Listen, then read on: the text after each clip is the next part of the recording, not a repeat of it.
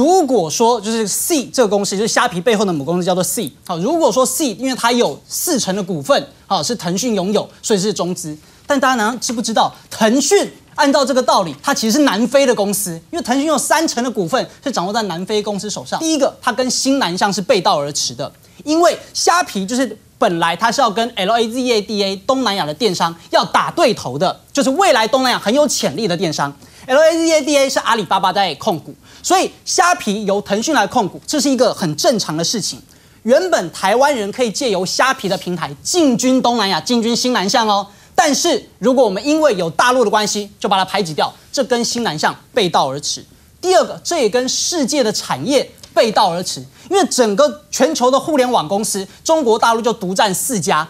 最强大的电脑，中国也独占冠军跟亚军。如果台湾认为说有大陆的就不碰，那不好意思，当整个全球进入到新零售时代的时候，那台湾就完全没有任何的进步。虾皮的母公司是一家新加坡商啊，S E A C 集团。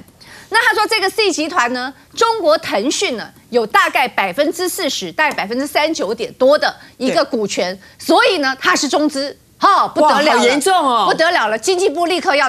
调调查这是什么？这是什么？为什么有？这个是今年看到没有？花妈大家比较认识 哈。那站在他旁边呢，就是这个新加坡 C 集团的总裁，他来到高雄，花妈呢非常高兴的宣布呢，这个高雄跟这个 C 集团呢有一签一个 M O U 备忘录。哇，这代表什么？这代表高雄市招商成功啊！这代代表高雄市要发展电子商务啊！这代表高雄市要新南向啊，因为呢，它是新加坡的非常非常大的一个一一一个集团。好了，所以我要讲就说，今天我们如果去掉这个“中”字哈，它就是什么呢？